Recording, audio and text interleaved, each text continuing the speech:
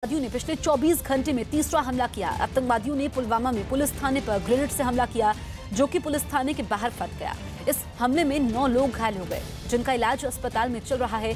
सोमवार को भी पुलवामा में हमला हुआ था। आईटी ब्लास्ट में दो जवान शहीद हो गए थे।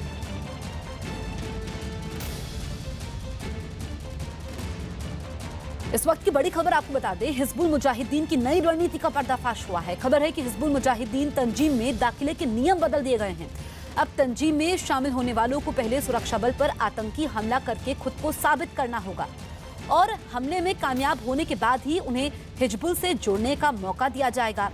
सूत्रों का दावा है कि आतंकवादियों को पुलवामा में सुरक्षा बल पर हमले का फरमान जारी किया गया है।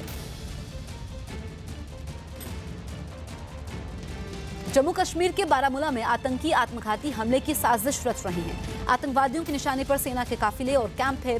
आतंकवादी श्रीनगर, कुपवाड़ा हाईवे पर जाने वाले सेना के काफिले पर नज़र रख रहे हैं। साथ ही आतंकी बारामूला के पट्टन और सोपोर में भी सुरक्षा बल को निशाना बनाने की फिराक में है। आतंकवादियों के दो गुट बारामूला के शीर जागीर और राफियाबाद में सक्रिय हैं। महोदय, मैं